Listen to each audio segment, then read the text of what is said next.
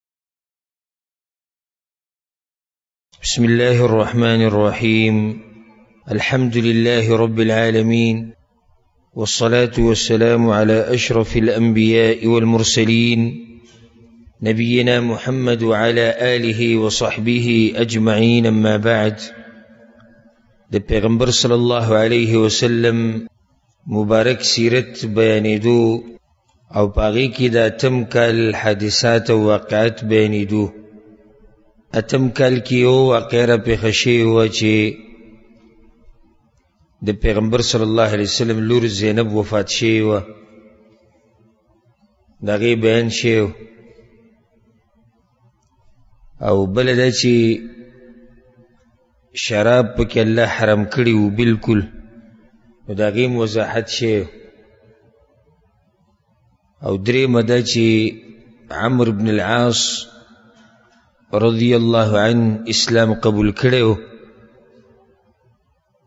او د هغه د اسلام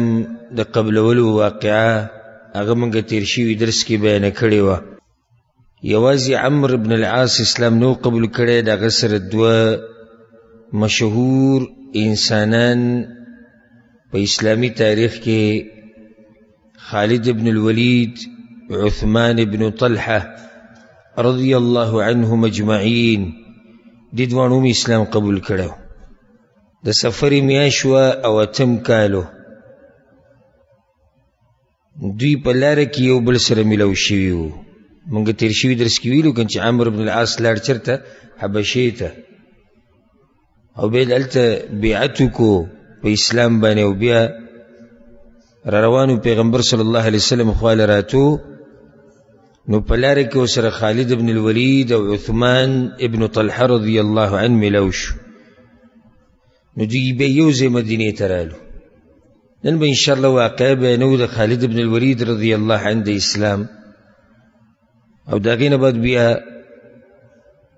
بعض سریې پیغمبر صلی الله علیه وسلم لیږلي وي یو څو علاقو ته نو د هغې تذکره به کوو انشاءالله خالد بن الولید رضی الله عنه زمونږ ماشومانان هم پیژني زمونږ بوډاګان زمونږ زنانه هغه ټول د دې نوم سره اشنا دي خالد ابن الولید بلکې زمونږ دشمنان هم پیژني زمونږ تاریخ زمونږ د دشمنانو ته معلوم دی چې د دوی څنګه تاریخ و څنګه خلک و د دوی په تاریخ کې نو هغوی ځان خبروي وخت په وخت دا خالد بن الولید رضی الله عنه د هغوی هم پېژني خالد بن الولید د اسلام یو مشهور شهسوار ابن المغیره المخزومي القرشی په قریشو کې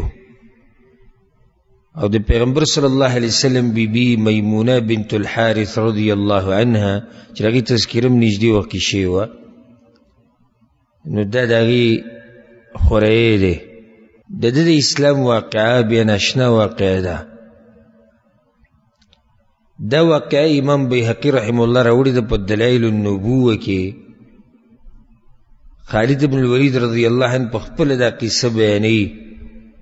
وهو يتحدث عن قصة اسلامه په خپل باغه دا قصه بیانوله چې په څه طریقې سره الله ده ته هدایت ورکو نغوی لما اراد الله ما اراد بی من الخير الله چې زما د پاره کله خیر وغوښتو قذف فی قلبی الاسلام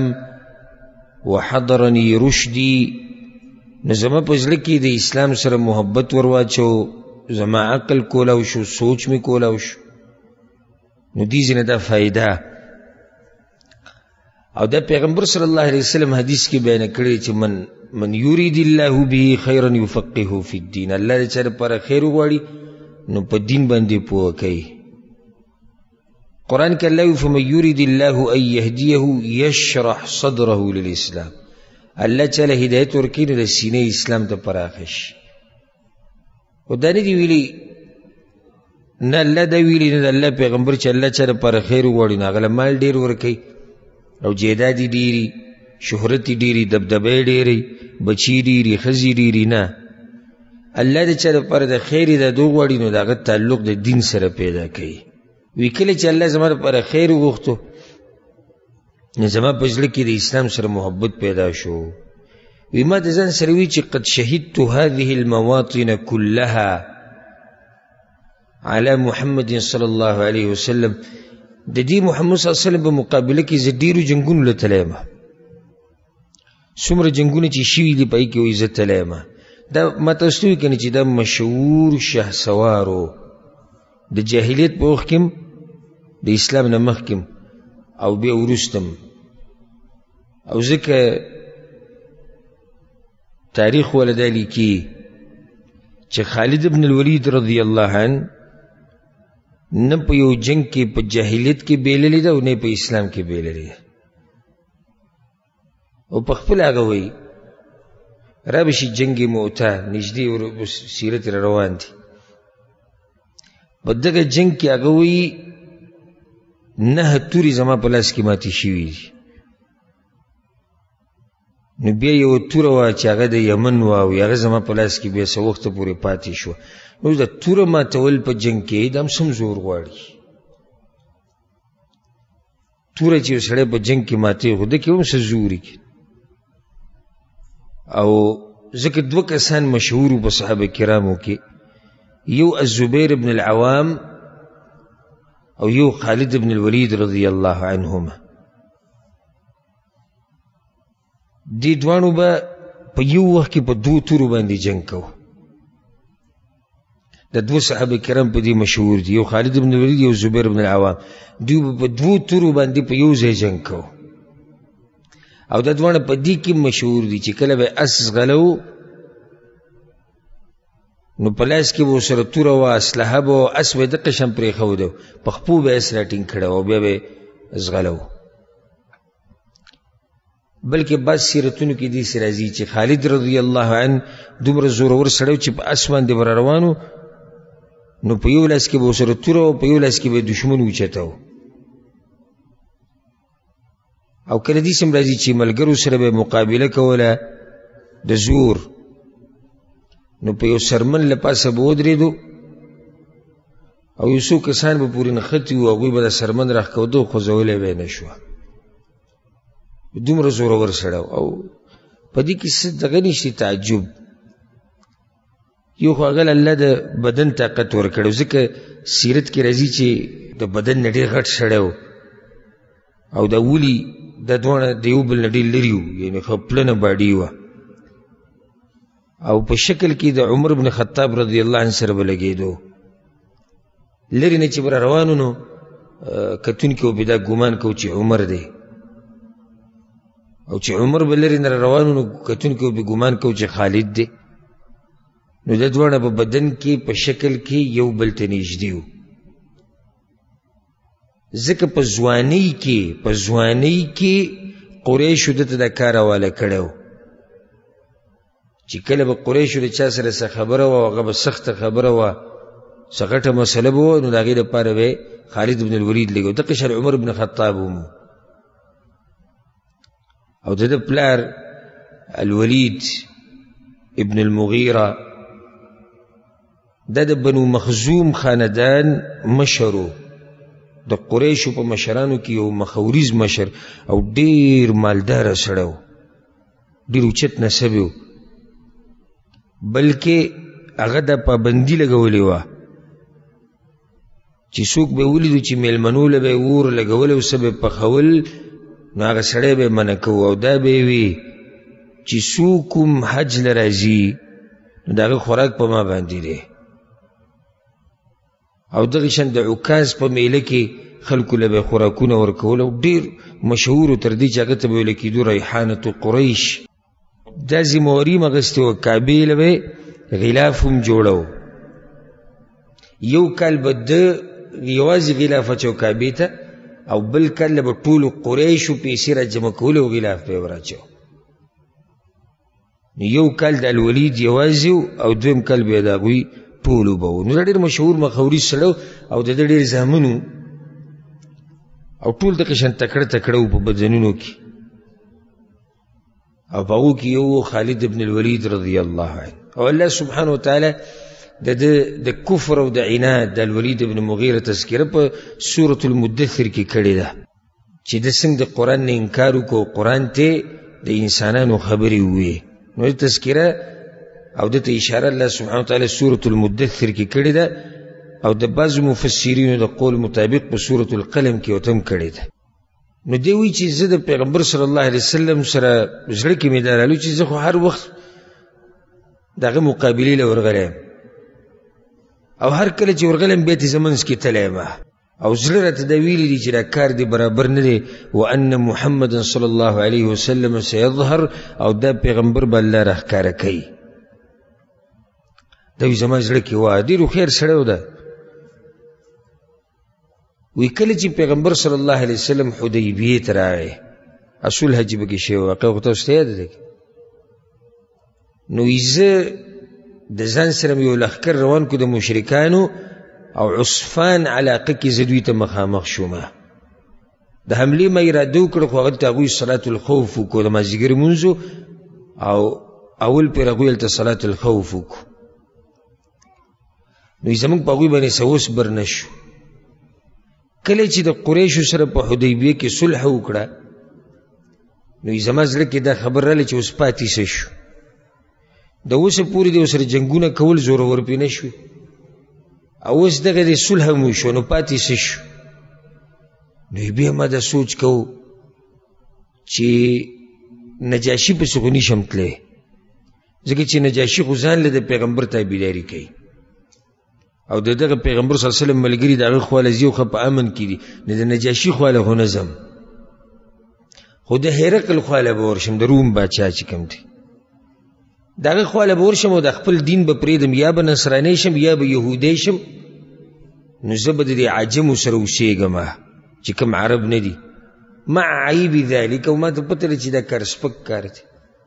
وی خره ته پته و چې دا اوس ځان سپکوم چې زه د پلار نیکه دین پرېږدم او یهودیت او نصرانیت ته اوړم او بیا ځم د دغه پردو خلکو منځ کې اوسېږم خو زه دغه سوچ کې وم چې د هغه کال پوره شو پیغمبر صلی الله علیه وسلم عمرې له راغی موږ قصه بیان کړې وګر کال بعد پیغمبر صلی الله علیه وسلم بیا د ذلقعدې په میاشت کې ورغی عمرې عمرة القضاء یا عمرة القضیه وی کله چې پیغمبر صلی الله علیه وسلم راغی فتغیبتو ما د مکې نه ځان پټ کو وتښتېده چې دوی ته مخامخ نه شي د مسلمانانو سره میلاو نه شي فکان اخي الولید زما رور الولید ابن الولید رضی الله عنه نو خو اسلام مخکې قبول کړی هغه وی د پیغمبر صلی الله علیه وسلم سره په دغه عمر کې یو ځل هغه مغه واقع بیان کړی و تاسو یې ذهن کې مشتي کنه فطلبني فلم يجدني فما بس وګرځید خو زه ته ملاو نشو وكتب الي كتابا باخد كدوتي بسم الله الرحمن الرحيم أما بعد فإني لم أرى أعجب من ذهاب رأيك عن الإسلام وعقلك عقلك تزلي تعجب كما تستا عقلهم كارنك تم په اسلام باندې پوه نه شوې قد سألني رسول الله صلی الله علیه وسلم عنک د رور ورته بیا دا خبره هم لیکلې په خط کې دا خط ورته د رور لیکلی دی او بیا یې ده ته پرېښودی دی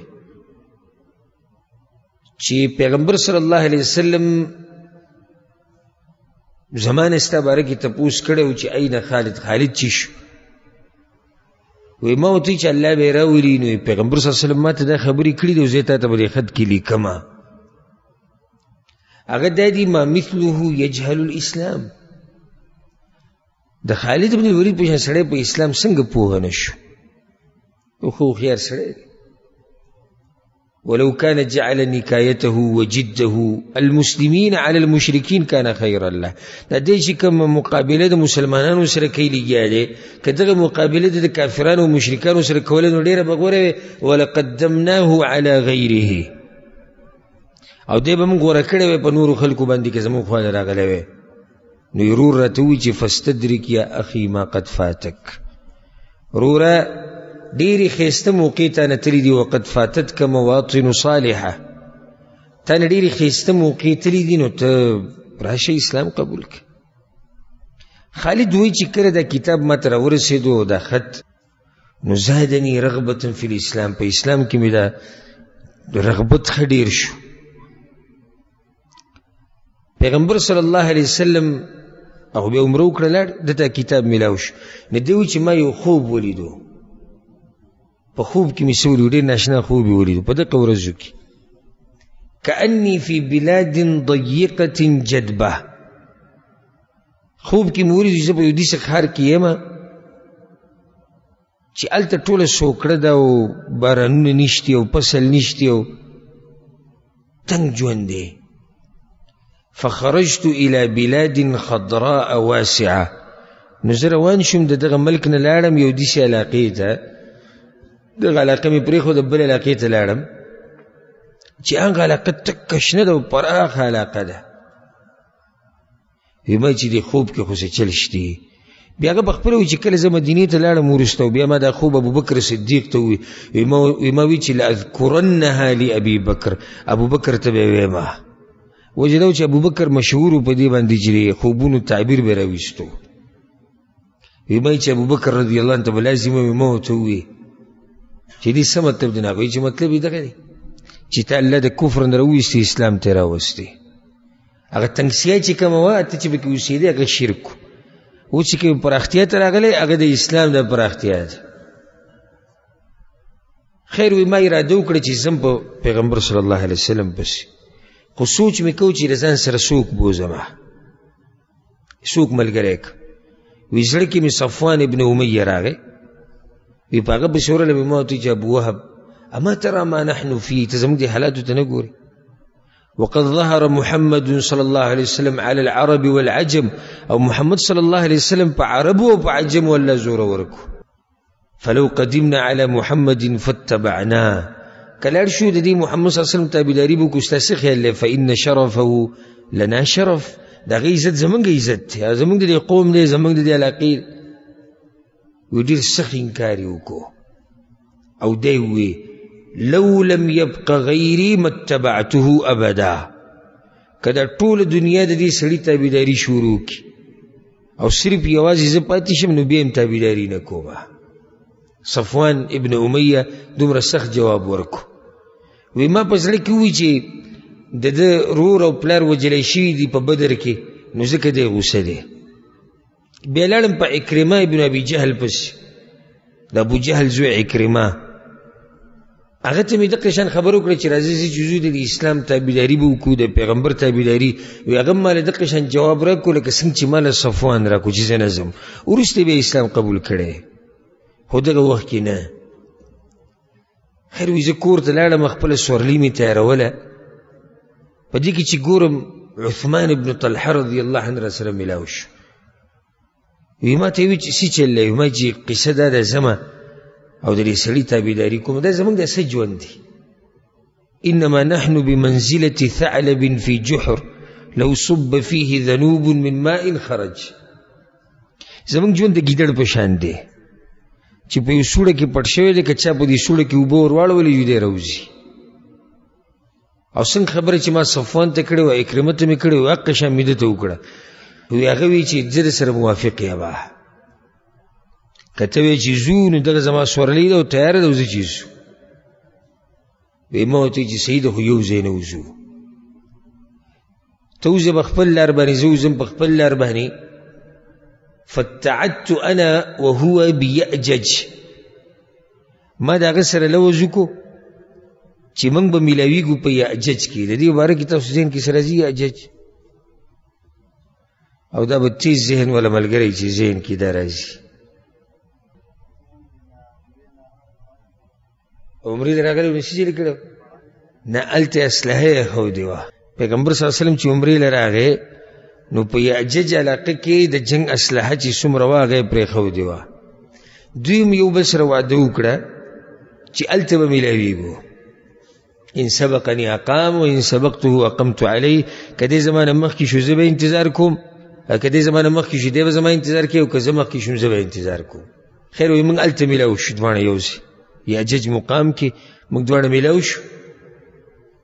نو بیا موږ روان وي د قشن چې کله ملګري شو بیا یو علاقې ته ورسېدو چې هغې ته هدأه ویل کېږي هدأه او دا هده اده د عثمان او د مکې په منځ کې علاقه ده چې ګورو عمرو بن العاص را روان دی او د هغه د اسلام واقع هم ذکر کړی وی وی چې مرحبا بالقوم په خیر راته وي موږ هغه ته په خیر وي وی راته وي چې اين مسیرکم ما اخرجکم څه کوئ دواړه رواني چېرته رواني وی مو ته که صفوي چې ما اخرجنا الا الدخول فی الاسلام اسلام کې ننوتو دپاره راوتي یو د محمد صلی الله علیه وسلم تابعدارۍ له ځو خو عمره ستاسو قصه دی ما ورته ویل دلته څه کوي ما ته وی چې وذاک الذي اقدمني نو زه هم دغې راویستی ما کیسه یې ټولې یوه ده بس وی فاستحبنا جميعا درې اوچت انسانان ملګري شو او څومره ښایسته سفر به ودوي او سفر بیا د څه شي سفر په اسلام کې د ننوتو د هغه سفر دی چې دوی د تیرونه پکې رڼا ته راوتي دي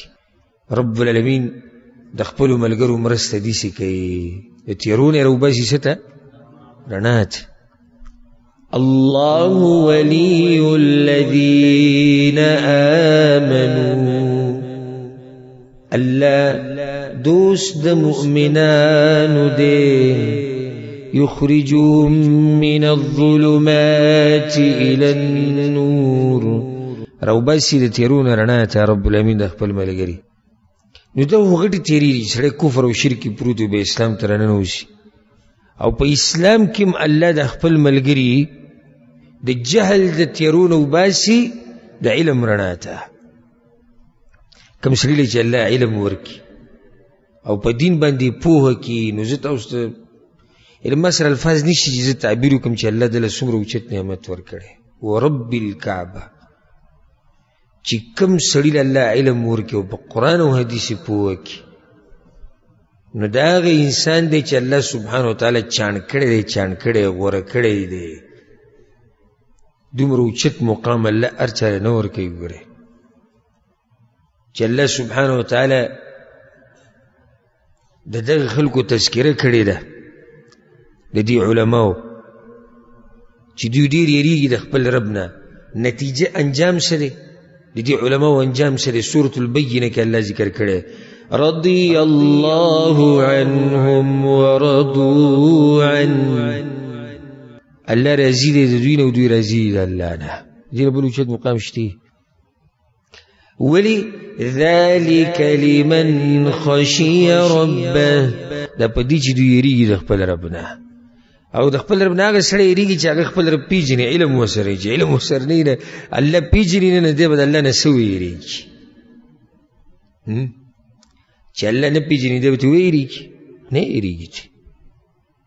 نو ما سي خبره کوله چې داسې ناشنا سفر و چې عمرو دی او خالد دی او عثمان دی او سفر د اسلام دی بالکل تبدیلی یکدم د تیرو نه رڼا ته راتګ د جهنم نه جنت د ګمراهۍ نه هدایت د پیغمبر د دشمنۍ نه د پیغمبر دوستۍ ته د مؤمنانو سره جنگونو نه مؤمنانو سره ملګرتیا ته اوچت سفر کې د درې وړه ملګري شو وی کله چې موږ د مدینې ته نږدې شو اخبر بنا رسول الله صلی الله علیه وسلم بس مدینه ته موږ ورننه وته دا په دې بارډر کې وو چې پیغمبر صلی الله علیه وسلم ته خبر ورسېږي چې درې کسان روان دي او پلانې او پلانې او پلانې او اسلام لري راغلي دي اسلام قبلې فسر ربنا وسخ خوشاله شو او ډېر غټ خلک را روان دي ګوره د د دینداری په غیرتی سړي پورې ډېر خوند کوي او په دې سي سړي پورې ډېر خون کوي چې دین پروا وسره وي په دې پورې دینداري ډېر خون کوي یو هغه سړی چې لکه کمزوری د قوم د طرف نه یرندو کوي بوزدیله دین د پاره لاس پراخه نه شوق ډیر نه نو د دې سره که مثال کې دین طرف ته توجه پیدا مشي خو هغه فائدې نه کوم فائدې چې دیو د سړي اسلام ترنوتی لکه څنګه چې دا دریو لکه پیغمبر صلی الله علیه وسلم به ولي وي چې یاله یا عمر ابن هشام له هدایت ورکو یا عمر ابن خطاب له ولي ځکه چې زورور زورور سړي پورې دینداري ډېره مزه کوي ځکه چې د چا نه یېرېږي نه صرف د الله نه یېرېږي او بوزدیل سړی او هغه ملګری چې په نیمه لار کې دی پریدي او په دینداري کې د سره مخ کې مرسته نه کوي نو دې سه ملګری باندې سړی خوشحاليږي نه ملګری خو په دین کې هغه مزه کوي چې هغه تاسو سره بیا ولاړي او یریږي نه مقابله کوي خلکو له جواب ورکوي دې سه ملګری باندې پیغمبر صلی الله علیه وسلم ډیر خوشاله دی ډیر زیات په خوشاله دی وجره چې اسلام ته فائدہ ډیره ده پیغمبر صلی الله علیه وسلم سره لالچ د اسلام وکړ چې چا به اسلام لړې فائدہ ورکول به دا ډیر ډیر بہت خوشاله دي کوس اسلام کې دغه مو بلال رضی الله عنه خو بلال رضی الله عنه کمزوری او په اسلام کې حمزه رضی الله عنه نو دواړه یو شی دغه جدا مسله د فضیلت او مقام او هغه زه د هغې باره کې خبره نه کوم خو د زور په باب کې د زړورتیا په باب کې چې شاته سره قوم ولاړي شاته سره خلک ولاړي او نه یریږي او مسله کې او زوري دبدبې زه دې خبره کوم نو پیغمبر صلی الله علیه وسلم ډیر زیات خوشاله شو فلبثت من صالح ثيابي وی دی پیغمبر صلی الله علیه وسلم ملاقات لږی تلم نو ځان سره می کپړې راغستې مزداري هغه می واچولې دینه دا فایده راووته چې کله انسان د نیکانو خلکو د علماو خواله د هغوی زیارت له ځینو په کار داري چې په ښه لباس کې په ښایسته طریقې سره پاک صفا په داسې حالت کې لاړ شي وی زه پیغمبر صلی الله علیه وسلم خواله ورتلم مسیح نبوی ته نه وم رسېدلی فلقینی اخی رور را سره ملاو شو رور یې څوک دی الولید ابن الولید عربو کې دا نومونه اوس هم شته د پلار نوم زوی له ږدي د نیکه نوم نوسي له ږدي زمونږ هغه پسې به دویم دریم کلی لټې که په دویم کلي کې د چای نوم یې ځاله نه شي ښودی بچو له ځکه چې وي دا د پلاني ابۍ دی او دا دغه پلاني بابا دی اوس خو الحمدلله سهده پورې دا خبره لږه ختمه شوې ده خو نه مشرانو نه چې تپوس وکړي نو هغوی باقاعده موږ به یعنې تپوسونه کول چې دا نوم د چا دی په کلي کې نه دی کلي کې به نه نو هغه یو خپل به ووایي وایي زموږ په پلاني کلي کې یو ترور واده دی د هغې دی نو بیا د هغې د لاسه بیا موږ نوم نه یادکوو نو ځکه دا د پښتنو دا نومونه ډېر عجیبه عجیبه دي ځکه چې اوس نوم ته یې ښودی نه شي او نوی به ګوري نو چې نوي ګوري بیا د عجایبات به پکې راوځي پلانې ګل او پلانې ګل او انځر ګل او دا کیسې دي ځکه چې هلته به نومونه خو لږ دي که نه نومونه لږ دي نو بیا به دا ناشنا ناشنا نومونه ږدي اوس الحمدلله خلک پوه شوي دي او اسلامي نومونه خلک ډېر ږدي الحمدلله ورور ورسره ملاو شو الورید ابن الورید وی ما ته وی چې اسرع تعدی کوه ورور روانه ورور هم خوشحاله دا ګټه خوشحالي ده ګټه خوشحالي چې یو سړي ورور اسلام ته راننوځي او بيدي سرور خالد ابن الوليد مشهور کمانډر د مشرکانو یو خالد یو خالد د زرو زر کسان دغه مقابله نشي کولی نو دې سړی چې اسلام ته رانوځي او بیا ستا خپل روري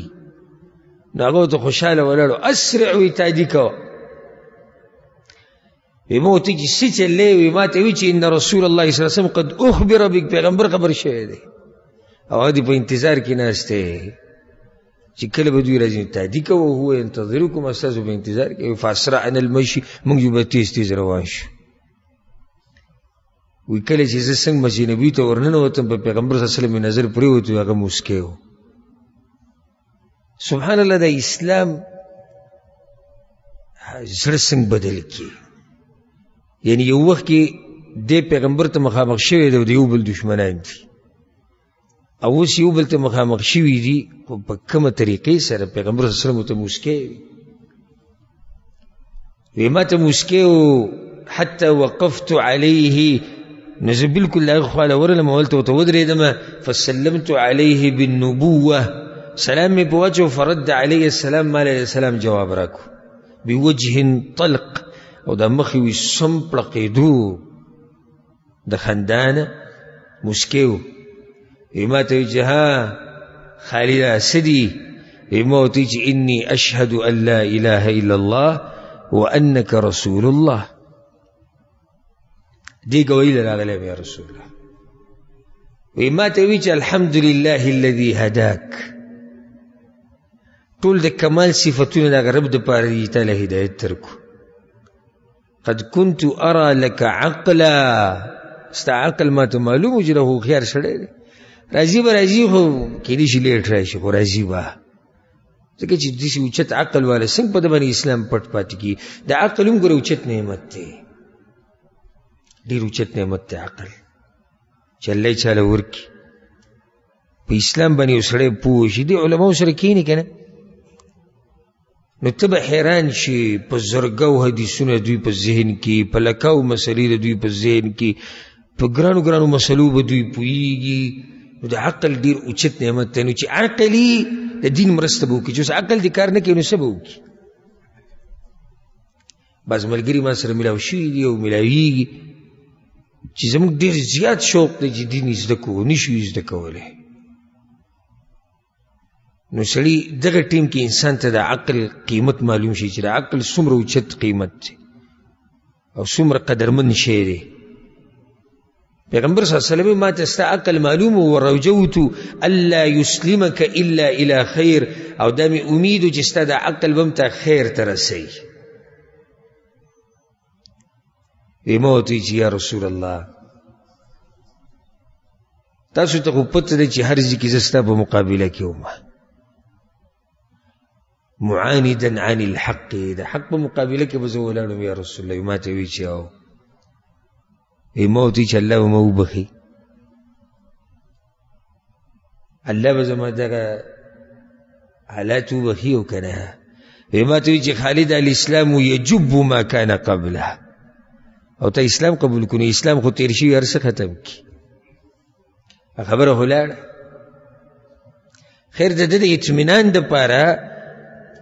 وی وی چې اللهم اغفر لخالد ابن الولید کل ما اوضع فيه من صد عن سبيلك یا الله خالد ته هر هغه خبره وبخي او هر هغه کار وته وبخي چې اسلام خلاف کړي پیغمبر صلی الله علیه وسلم ته دعا وکړه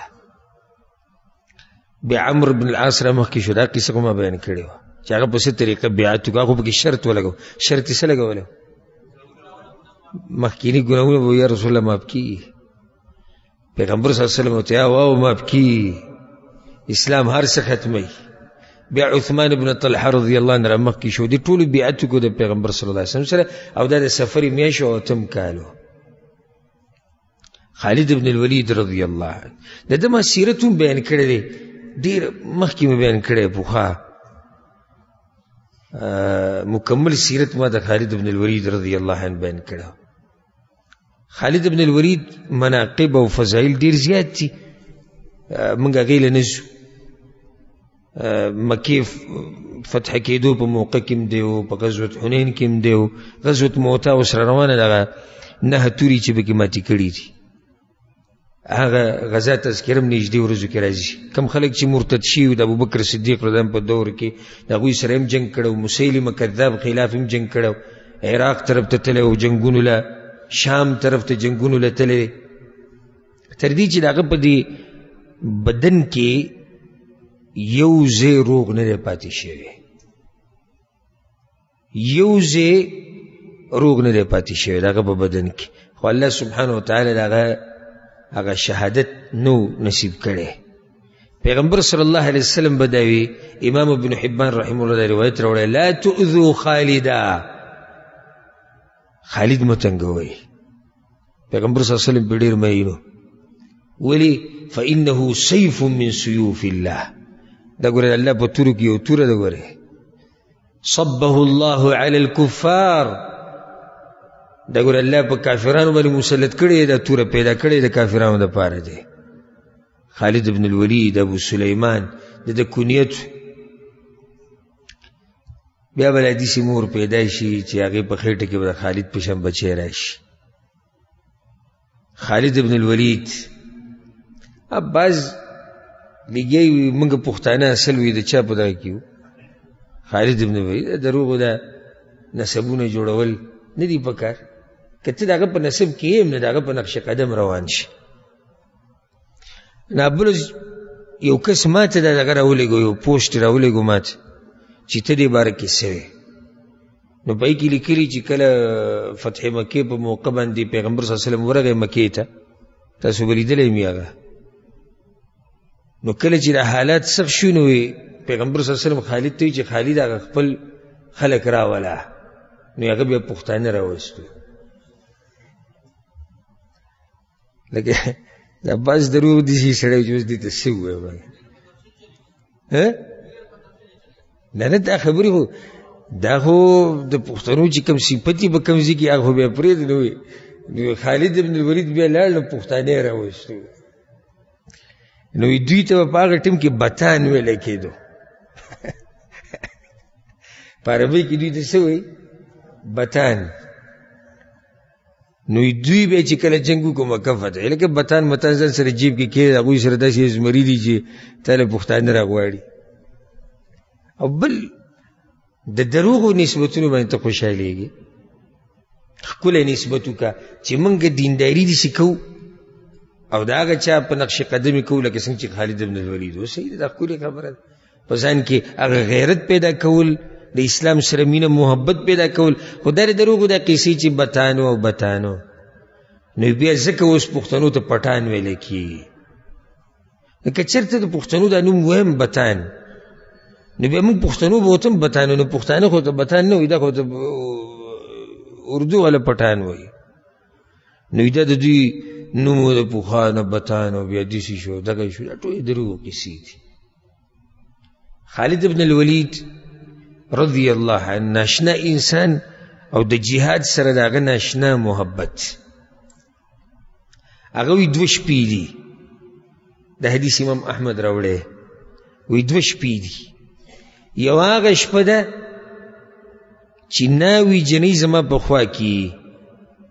او زه په دې جنۍ باندې سخ مین یم لکه یو سړی دی واده وکړو ناوی جنۍ راله کمرې ته او دی په دې جنۍ باندې سخ مین دی او اجازه ته ورته ورکړې چې زه ورځه جنۍ ستا په انتظار کې ده به څومره خوشحالې تاسو وایئ چې جنۍ باندې مین هم نه یو هسې د واده شپې څومره خوشحالې شپې به ځمکه لګي نه لګي چې بیا په دې جنۍ میني او یا وی دي سي وای چې سړی ته زیر وکړي چې الله دې زوی درکو څومره خوشاله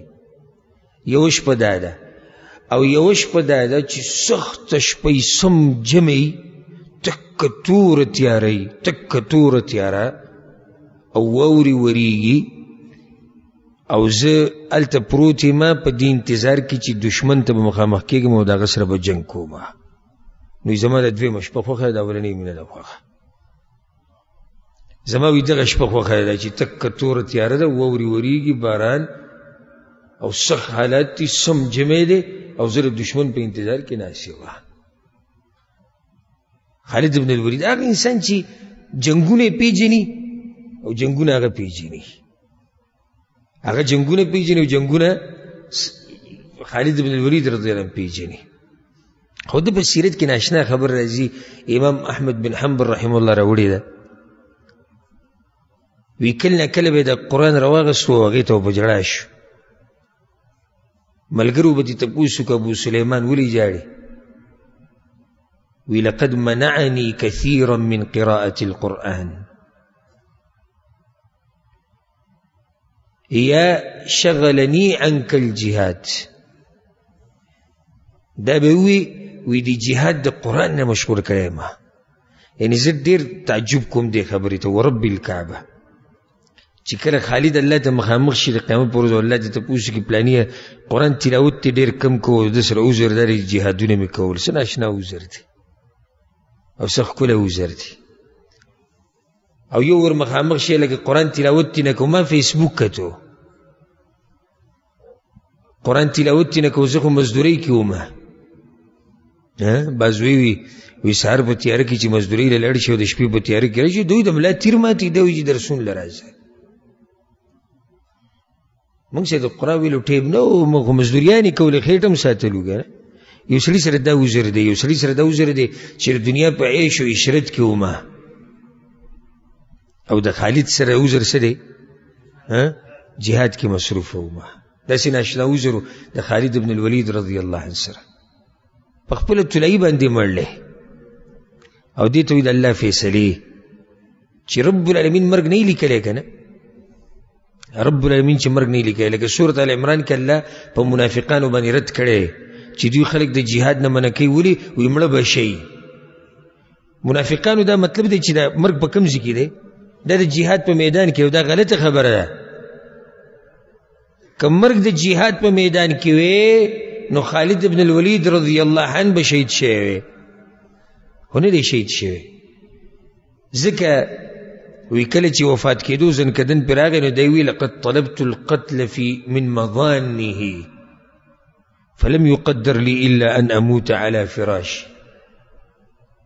وی کم زینه کم زیکی چې زما ګومانو چې دلته به شهید شم هغه ټولو ځایونو له تللی یم خو تقدیر کې مې مرګ دغه چې په طلایي باندې ممرمه او بیا په جړا شو ملګرو یې بدن وکتو په بدن کې یو ځای روغ نه و یو ځای یا د توري ګزار یا د نیزې ګزار یا د کاڼي ګزار یا د غشي ګزار یو ځای پکې هم روغ نه و او دی وی وی اذا انا متکو زه مړ شومه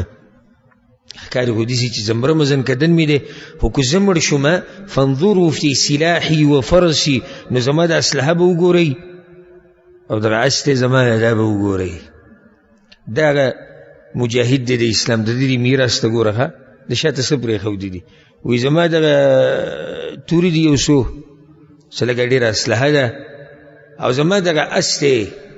نو دا وصیت یاد کې فجعلوه عدة فی سبیل الله دا د مجاهدین لپاره وقف دی بګه چې جهاد کو دغه لور کوي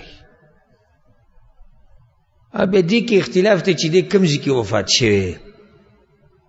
مدینه کې وفات شوی دی کنه شام کې حمص کې وفات شوی دی او زما خپل ځاني زړه په دې مطمئن دی والعلم عند الله چې دی په مدینه منوره کې وفات شوی دی او په هغې ډېر زیات دلایل دي هسې یو دلیل لکه یو روایت کې داسې راځي امام ابن المبارک رحم الله راوړی دی صحیح سندی دی چې لما توفی خالد کله چې خالد رضی وفات شو خرج عمر بن الخطاب فی جنازته نو عمر بن الخطاب دغه په جنازه کې ولاړو او دغه په جنازه کې وو نو خو مدینه کې شو کنه او دا د عمر ابن خطاب رضی الله دورو کله چې عمر ابن خطاب رضی الله عنه ته خبر ورسېدو چې زنانه په خالد خالد ابن الولید پسې جاړي او ټول امت اسلامی په ټیم کې باغه پسې جړل نو خلکو شکایت کو امیر المؤمنین ته وی امیر المؤمنین زنانه پسې جاړي ډېرې په ابو سلیمان پسې وی دعهن یبکین علی ابي سلیمان پرې جاړي په ابو سلیمان پسې فعلى مثل ابي سليمان تبكي البواكي ابو سليمان په شان ځوانانو پسې خلک جاړي دا خبره ده د جړه دومره غټ سړی دی زمونږ نه جدا کی دومره غټ مسلمان دی زمونږ نه جدا کی دومره غټ مجاهد دی جدا کیږي او په هغه پسې دې څوک جاړي نه دعهن یبکین جاړي پسې جړه کیسه نشته خو دی وایي چې ځانونه به نه وهئ وویلا به نه کوئ د جاهلیت خبرې به نه کوئ د دین ځان لرې ساتئ نور که څوک پسې جاړي به موږ څه ووایو جاړي به ځکه چې ابو سلیمان مړ دی یو نیم انسان چې د دنیا نه لاړ شي که ته غواړې او که ته نه غواړې خو ستا دا زړه به جاړي دا زړه د انسان جاړي ځان انسان کنټرولولی نه شي او یو نیم انسان ګوره ځکه زه تاسو ته بر بر د نصیحت کوم د ملګرو ته ما ویلي دي بر بر زه هم داسې کار وکړئ چې شاته تاریخ پرېږدي خلک ته یادوي دعا درته کوي نو ته دغه هیله بېله ښځې او بچو پورې نښتی یو او بیا هغه هغه هم خوش قسمته دی چې ښځې او بچي ډېر وخت یاد کړي خوش قسمته دی ان اکثر بس دغه خزه سلور میشتې له سورج یو مور پلار یو سورج خپي یو خزه بچي یو سورج خپي یو بیا خبره ختم شي خو هغه سړی چې یو تاریخ پرې دی یو ځوان چې هغه د اسلام د پاره سو کې د مسلمانانو د پاره سو کې په قبر کې پروتي او تذکره ژوند دی په قبر کې پروتي د خلکو په زړونو کې ژوند دی نو ابو سليمان خالد ابن الوليد رضی الله عنه سم معمولی سړی خو دی هغه وخت پرې دی چې په هغوی باندې به څومره سخته وه ما او تا پسې نن جاړو چې ابو سلیمان رضی الله وفات شوی دی نو چې ما او تا پسې سره پس څوارلس سوه کاله بعد جاړو نو په هغه ټایم به په مدینه باندې څومره سخته راغلې وه په مدینه باندې تکه توره تیاره راغلې وه او دې سیرت کې راځي چې کونډې او یتیمانان او د کافرانو سره چې کوم قیدیانو د کمزوري کمزوري چې خبر شو سمې وجړل بیا زمونږ تپوس به کوه ابو سلیمان یو مشهور مجاهد یو نډر یو کمانډر د الله تورا سیف من سیوف الله هغه دې دنیا نه ځي په ده پسې څوک نه جاړي او کم کال کې چې وفات شو نو یوویشتمه هجرۍ وه د عمر بن خطاب رضانه خلافتو په وخت کې وفات شو عثمان بن طلحه رضی الله عنه د ته ویل کېږي حاجب الکعبه د کعبې چابیانې بیا پیغمبر صلی الله علیه وسلم دته د ده خاندان ته حواله کړې او د اوسه پورې د دوی په خاندان کې دي اوس هم د کعبې چابیانې د چا سره دي نو هغه د دې عثمان د خاندان دی پیغمبر صلی الله علیه وسلم دوی ته حواله کړې وه وایي د تاسو سره ده دا چابي هېڅوک به تاسو نه نالي او که څوک یې تاسو نالي هغه به ظالم وي عثمان رضی الله عنه بیا په مدینه کې اوسېدو او کله چې پیغمبر صلی الله علیه وسلم وفات شو لاړ بیا مکې ته ولته بیا په مکه کې ژوند تیرو بیا دو څلوېښتمه هجرۍ کې چې دی وفات شوی دی چا دا هم ویلي دي چې کوم هغه معرکه جنګ چې شوی و اجنادین په هغې کې شهید شوی دی والعلم عند الله نو دا واقعه وه د دغه درې اوچتو انسانانو د اسلام د قبلولو کم کم عمرو بن العاص خالد بن الوليد عثمان بن طلحه رضی الله عنه دا غینه بعد پیغمبر صلی الله علیه وسلم یو سریه لګلی و سبحان الله د دوی د ژوند ته چې ګوري سړی حیران شي ټول ژوند مصروف دی د اسلام په خدمت کې او د دین په خدمت کې ټول ژوند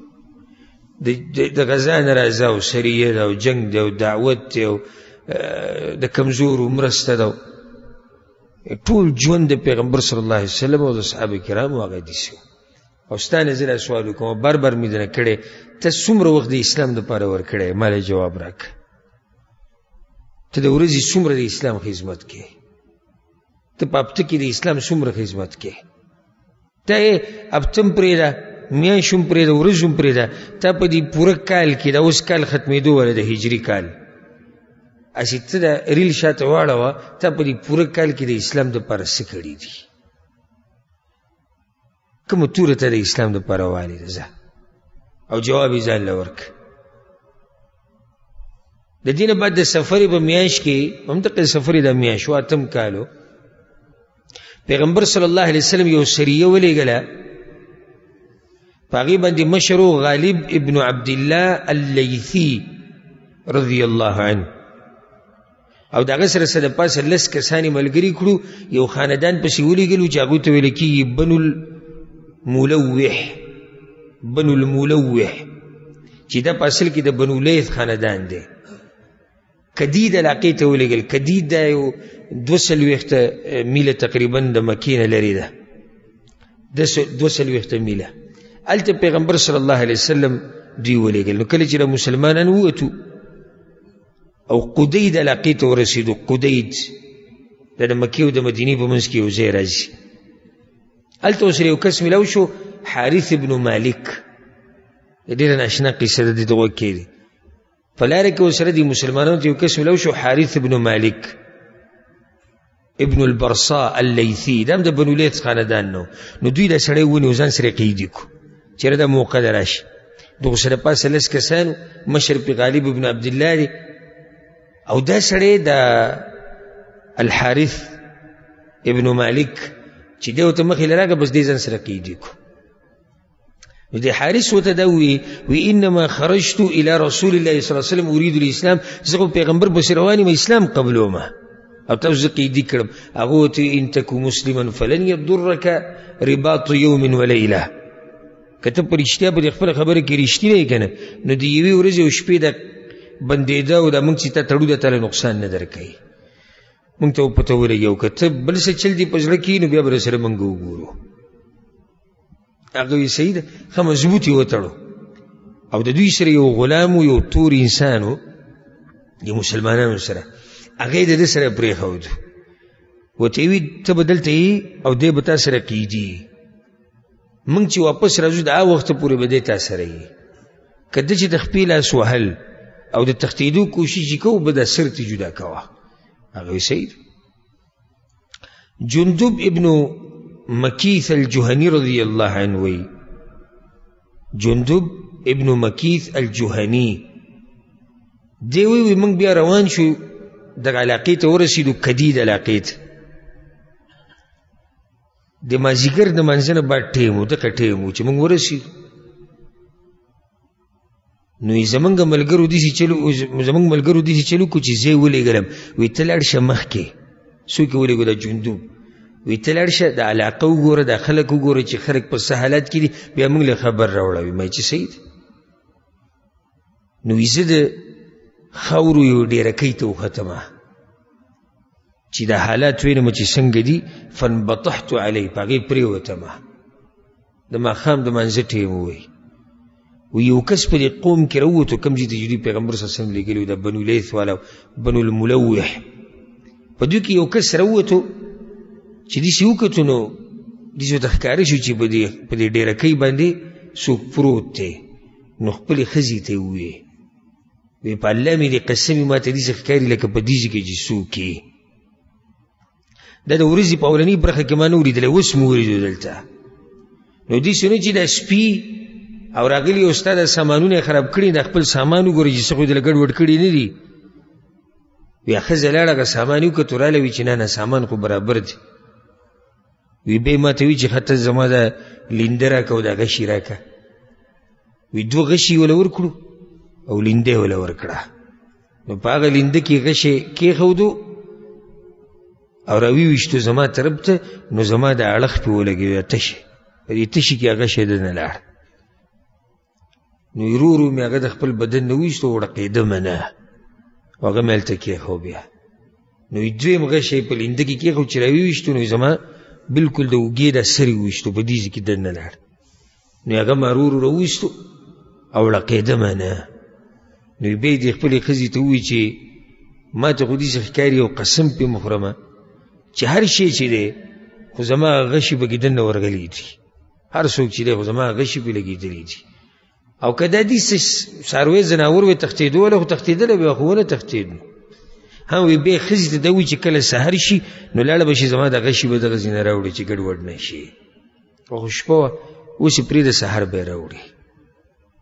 جندو وی دغه صحابي چې کوم غوي لګلو وی مونږ ما غوي پرې خودو چې کله غوي خدمه وکړه او خپل ساروي ولشل او به د ساروي خپل زینو ته بوت ولته ودریدو د شپې سې سب تیر شو شننا عليهم الغاره ما ملګرو ته اشاره وکړه وګدم په منګورل فقتلنا من قتلنا منه واستقنا النعم به څومره چې الله زمونږ له اوس راکړی و دومره پکې مونږ ووژل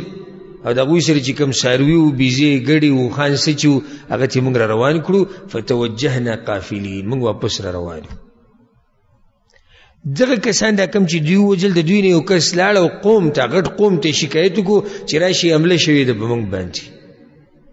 نو دا اواز مونږ واورېدو نو مونږ هم تادي وکړو چې واپس مدینې ته ځان ورسوو اول تا ملګری هم دی هغه حارثي چې ورته حواله کړی دی د هغه خو حاله هم تله غواړي وایي کله چې موږ ورغلو نو هغه ملګری هلته ناست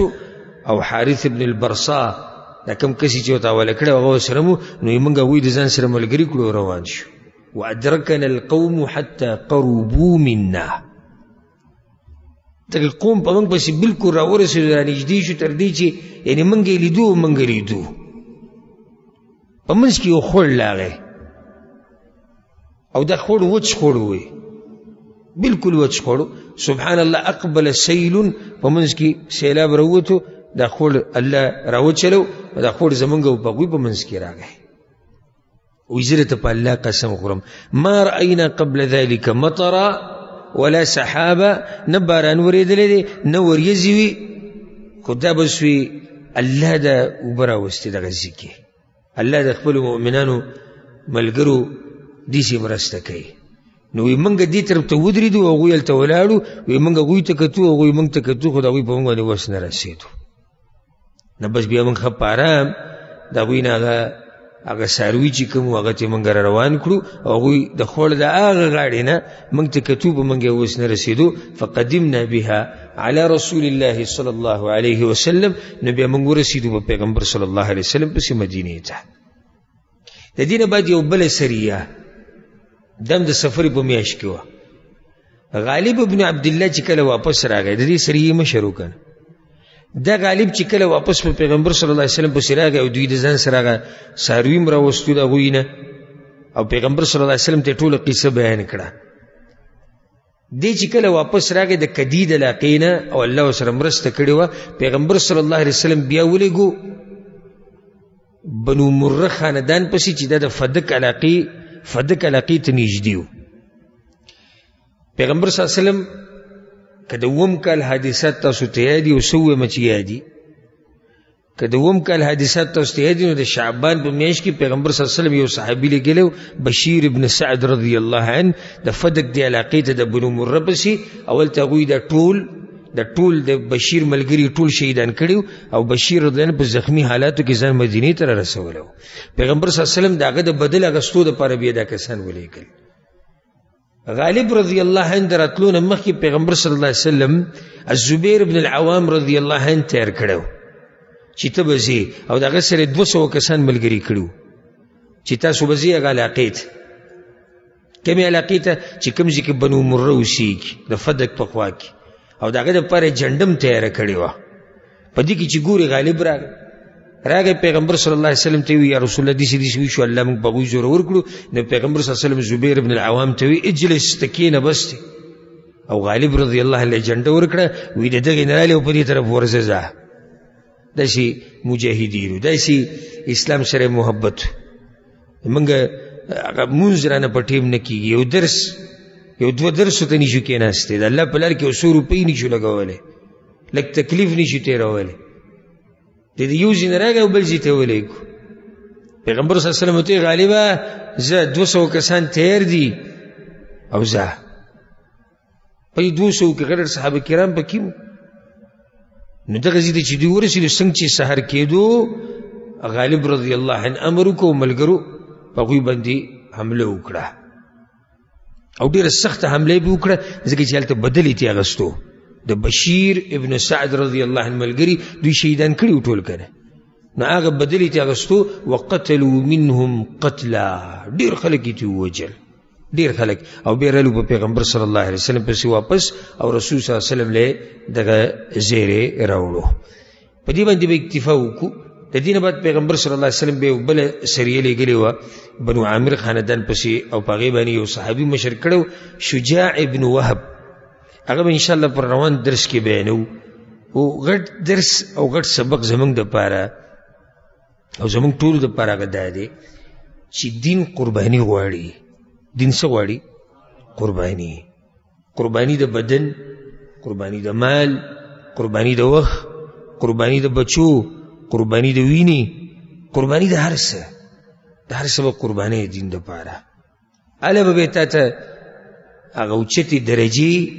د جنت هغه میلاویږي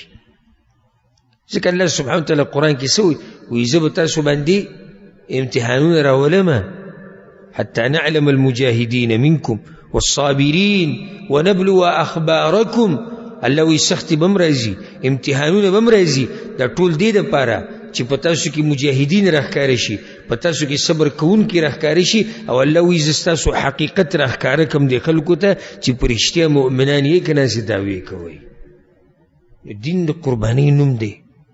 دین قرباني غواړي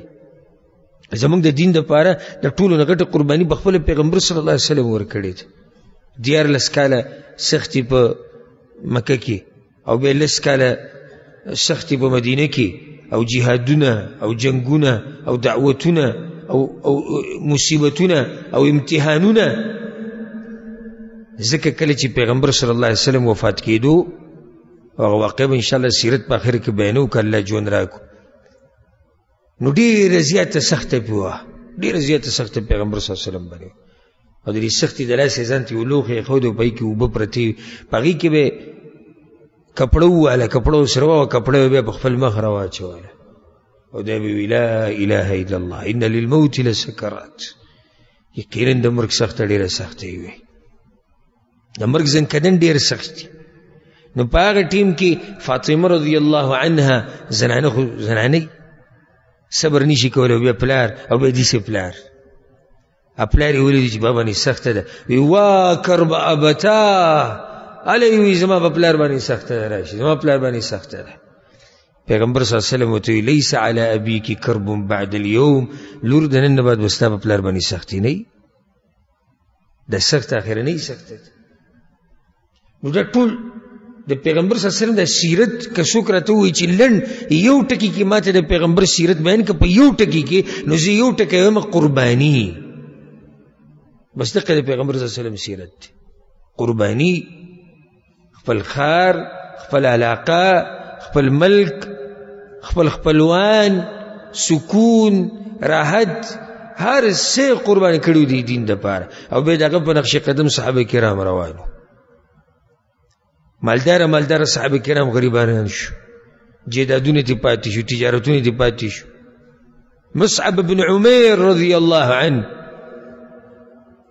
ښه مالدار سړی او به چې کله خخېدو نو صحابه کرامو سره بیا دومره سنو چې دې پکې کفن کړی وی نو هسې وړي کوم ته کې سادرګۍ ملاو شو نو چې به سر به اچو خپې به ښکارېدې چې به خپو به وته چې سر به ښکارېدو چی شو غارسه چې شو هغه مال چې شو هغه شهرت او هغه څه هغه ټول د الله لپاره قرباني کړو ما ته یو ریال یو روپۍ نه قربانو هر څه پرېږده ما ته د وخت کې څه وخت د الله لپاره نه قربانو ما ته بچي نه قربانو چې بچو باندې دین ووایو بچو ته دین وښایو زمام دین خوښ دی ستام دین خوښ دی او د ټولو دین خوښ دی خو بچي باندې دین وای نه نه بچو لپاره نه هغوی دپاره تجارت هغوی دپاره کاروبار هغوی دپاره دنیوي سبق